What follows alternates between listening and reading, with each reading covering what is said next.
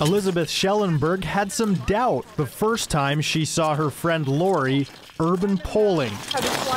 Initially, I thought it looked so dorky. I thought she was training for cross country ski season because she's an avid cross country skier.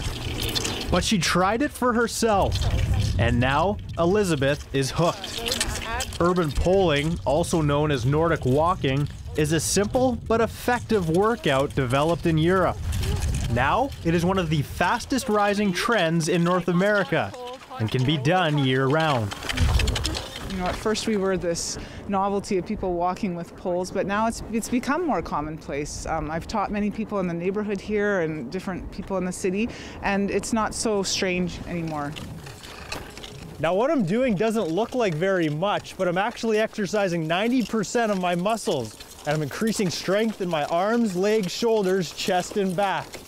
It allows those with injuries, like Elizabeth, to still get in a full workout. I love walking, I love jogging, but my knees don't let me jog anymore. And so I find that uh, this just gives my workout a cardiac boost. I can't get myself into my training heart rate um, with walking alone, and this just gets the upper extremity involved. Lori recommends using specific Nordic walking poles rather than hiking poles.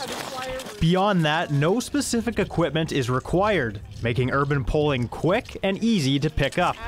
Because it's something that anybody can do, it's something that old people can do, young people can do.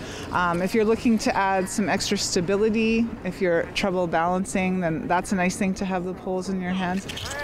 Lori says her and a friend were the first ones to do it in Winnipeg about a decade ago. She continues to spot more people picking up the poles. Anytime that I'm driving down Lyndale, which is close to where we live, uh, somebody's out there walking. And sometimes they're people that I've taught, and sometimes they're people that I don't know. And for Elizabeth, her original thoughts about urban poling have taken a turn. Give yourself a couple of tries to get used to it, and uh, there's no going back. You'll love it. For Go Winnipeg, I'm Kevin Hirschfield.